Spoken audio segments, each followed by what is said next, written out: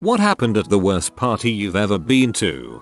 I went to a friend's graduation party after high school. I wasn't great friends with him, but I figured I would stop by with my GF because he was nice enough to invite me. The party was so done up. Tables full of food, streamers, confetti, all that crap. And my GF and I were the only ones there. I felt awful. His parents clearly went all out to celebrate it, and it was so uncomfortable being one of five people there, including him and his parents. I felt awful for him. We stayed for hours out of pity, and just kind of made small talk. Super depressing.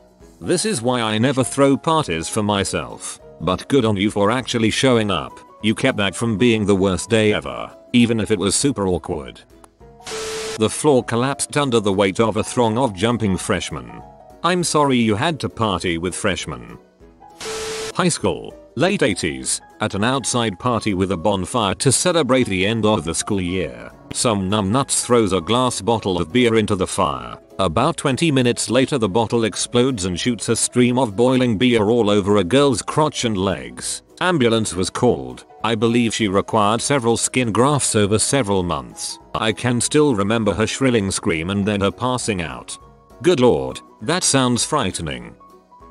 My brother was at a party once where there were more than a couple underage drinkers present. The house they were at had a thin driveway so all the cars were packed into a bottleneck. The night wore on and around 1 in the morning someone decided they wanted to go home. They found the girl who owned the car at the front of the bottleneck and asked her to move her car so she could get out. She said she couldn't because she had a breathalyzer installed in her car and it wouldn't start until someone sober blew into it. They went around the party and tried to find anyone who hasn't been drinking and couldn't find one. Another guy had the brilliant idea of asking the cool 20 something dude next door to do it. So an envoy of teens head over to the house next door and ask the dude living there if he would please blow into a breathalyzer so they could leave. The dude takes a minute to look the group over, takes a drag of his cigarette, and says, you're gonna give me $25 for every person at the party or I'm calling the cops. Double quote. That last bit played out like a movie in my head. So awesome. My sister's birthday was in the middle of the school holidays, and for her 7th birthday she had a party that no one turned up to. Turns out our mother put the wrong date on the invites, so a lot of people had tried to come over the day before whilst we were out. That's better than the alternative where the date was correct and flat out no one showed up.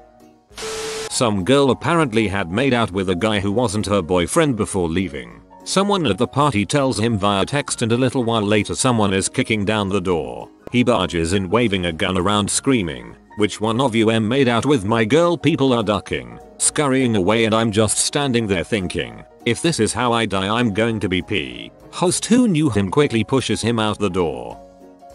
Since many of these stories are about drunk pooping and puking and other horrible things, allow me to lighten the mood with some comedy. For one unlucky tween partygoer, this was definitely the worst party ever. My pal had a birthday sleepover. We were in 8th or 9th grade, I think. Street Fighter 2 had just came out for the SNES so that was basically all we did. His parents had laid out some snacks and drinks on a party table, and there was one of these huge bags of party-sized Doritos there. We were playing Street Fighter when one of the guys grabbed a chip, bit into it, and yelled Doug this chip is wet he began investigating the bag and we quickly discovered that all the chips were wet. The birthday boy's 5 year old little brother had taken advantage of our Street Fighter distraction and licked all of the Dorito dust from every chip and placed them back in the bag. We found him playing in his room, his face covered in the implicating dust. I think college has desensitized me to drunk people at parties, so most of those stories don't bother me too much, but this would have freaked me the heck out. Went to another college to visit some friends. I walk through the door and realize something's wrong. They were all drunk and watching some chick poop on the floor. I left 5 minutes later still laughing hysterically. A couple of months ago I went to my friend's party which was joined with his flatmates. About 20 minutes after we got there the housemate started banging on a glass with a fork and one of my friends got everyone to quiet down assuming it was a speech. The guy then says there are too many people here that I don't know and told me and most of my friends to leave. He took us down to let us out but couldn't unlock the front door so we had to awkwardly stand there for 15 minutes until he found the housemate we were friends with and made him let us all out. I was invited to a birthday party and I took a six pack of beer. I found out halfway through the party that it was actually an anniversary party for the woman's first year of being sober. Everyone at the party was from the group at Alcoholics Anonymous. I was the only person standing there with a beer in my hand. I quickly left and was too embarrassed to take the remaining beers. For years after, I wondered whether any of those people drank the rest of my beer and fell off the wagon as a result. I threw a surprise birthday party for my middle sister last year and she got super upset. She cried and made a huge scene in front of everyone at the restaurant. She thought her boyfriend was gonna propose because he wouldn't tell her where they were going. She's the worst.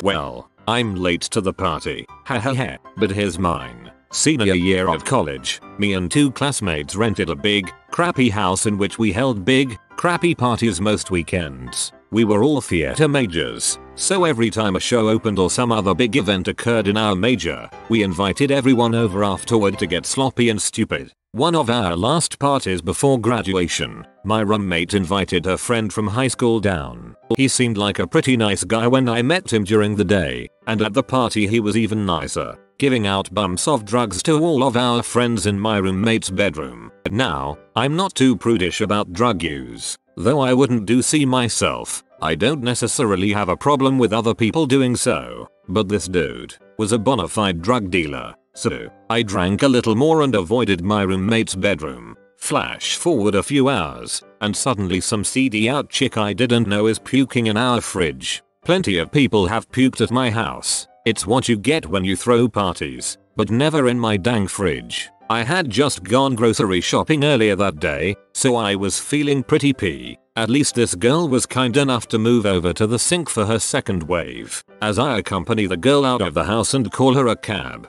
her friends arrive and are all, where are you taking our friend? She's sick. WHO are you? I respond. I live here, and your friend just vomited on my cauliflower. The friends are also pretty drunk. Not sure if they were seedy out, but they may have been. Anyway, they shout a little bit at me, but when they realize that I'm not actually doing anything wrong, they start shouting at their friend for being such a freaking freshman. By this point, the girl is sitting on my lawn and pulling up the grass. I explain that I've called a cab and tell the two others to just wait until it gets there and to please get their friend home. Back inside, the party is starting to wane, and I'm grateful, cause I've got a freaking fridge to clean. But when I arrive in the kitchen, there's the drug dealer, whistling a happy tune and cleaning the puke out of my fridge. He looks at me and says, hey, don't worry, man, I've got this. Next morning, the drug dealer is gone, but the fridge is spotless. He even bought me some new cauliflower.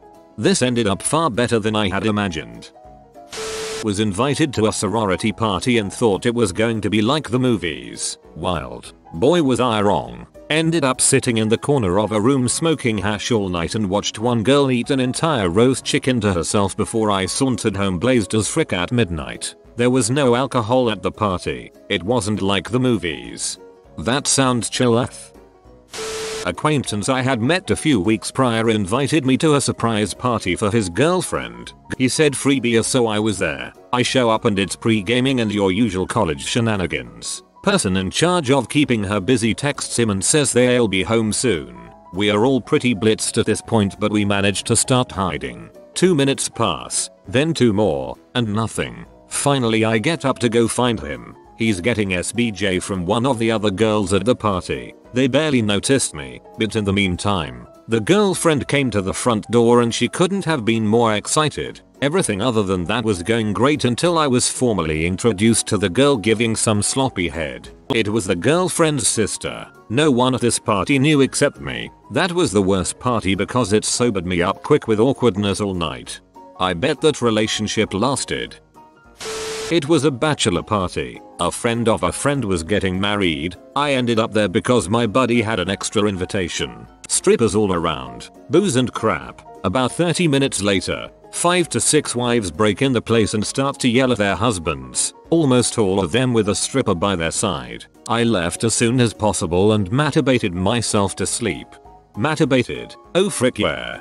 Bills, working full time. Oh yeah. Maybe I'll read a book after this oh yeah. Sensible meals and budgeting ooh Fools decided to hold the keg in the basement. The party got way too crowded and people ended up camping around the keg. As you can imagine, the basement got exceedingly hot and crowded. With too many bodies, stagnant air, low ceilings and heat someone eventually threw up. This coupled with an already empty keg caused a stampede for the one narrow staircase out. A bottleneck ensued and someone got wedged and pushed so hard into the door frame at the base of the stairs that their arm broke in two places. Hysteria. Police and an ambulance ended up on the scene and the party was over.